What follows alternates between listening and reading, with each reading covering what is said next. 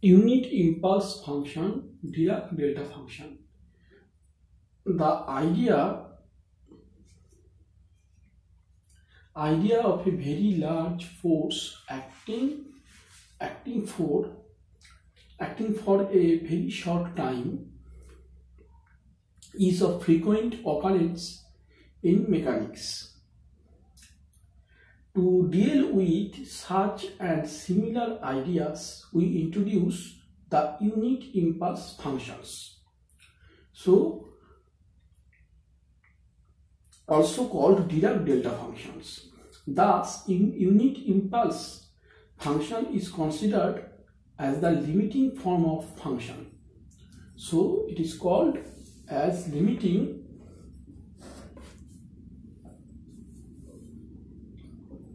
limiting form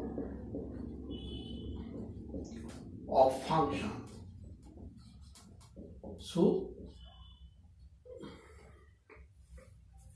limiting form of function, thus in unit impulse functions is considered as limiting form of function and del is t minus a del is t minus a equals to epsilon where a less than equals to a plus epsilon. Please check this diagram, this figure. This is a, this is epsilon, a strip and epsilon, and this is 1 by epsilon. Or this is del epsilon t minus a.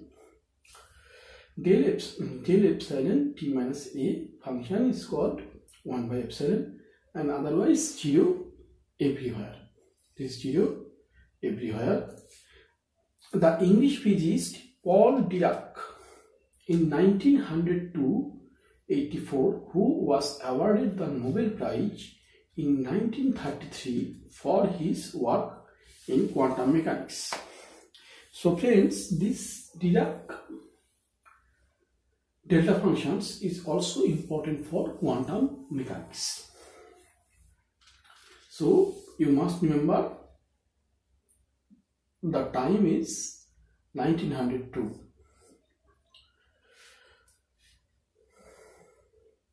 Nineteen hundred two to eighty four his time. Physicist Paul Dirac.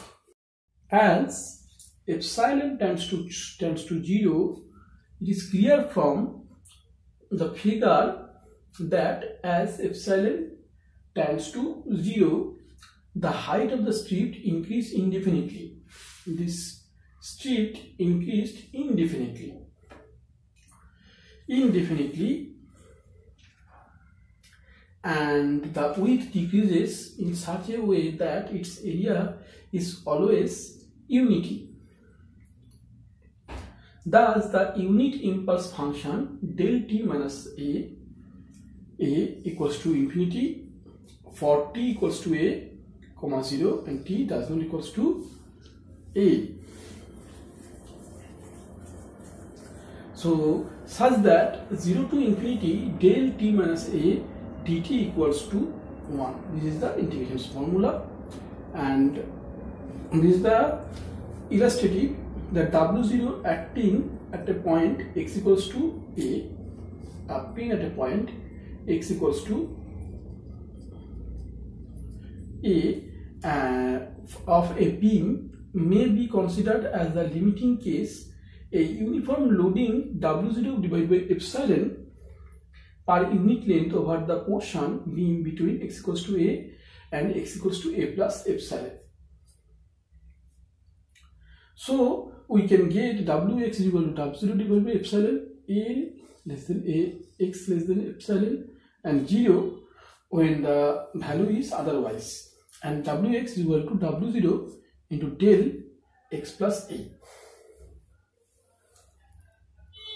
Transform of unit impulse functions if ft be a function of t continuous at t equals to a then 0 to infinity ft into del into t minus a dt is equal to ft 1 by epsilon 0 is equal to a theta according to the by the mean value theorem okay? Is it clear?